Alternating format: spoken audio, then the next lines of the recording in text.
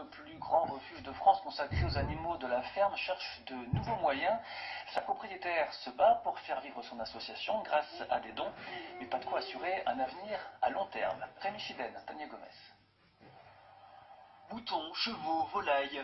Le domaine des douages, c'est un refuge consacré aux animaux de la ferme. Des abandonnés, des éclopés, des maltraités.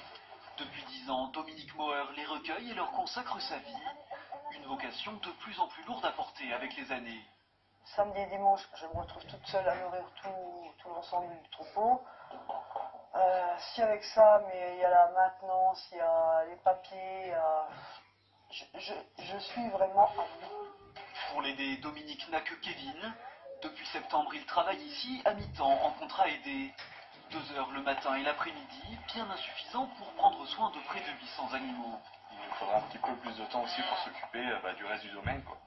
Donc euh, tout ce qui est euh, euh, euh, le- les terrains à s'occuper, euh, les grillages et compagnie. Même tout seul, euh, à plein temps, il y aurait quand même du, beaucoup de travail à faire. Deux salariés à plein temps, ce serait une dépense de plus de 72 000 euros par an pour l'association.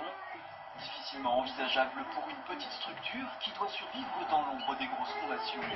On ne sait jamais avec quoi on va vivre d'après, on sait pas, euh, puisqu'on n'a aucune subvention, on ne vit que grâce aux dons. Le problème, c'est que nous, toutes les petites associations, on n'a pas les moyens de faire des pubs, on ne peut pas passer à la télé, on ne peut pas euh, envoyer de jolies lettres.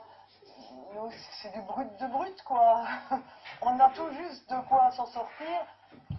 Dominique elle-même ne vit que du RSA.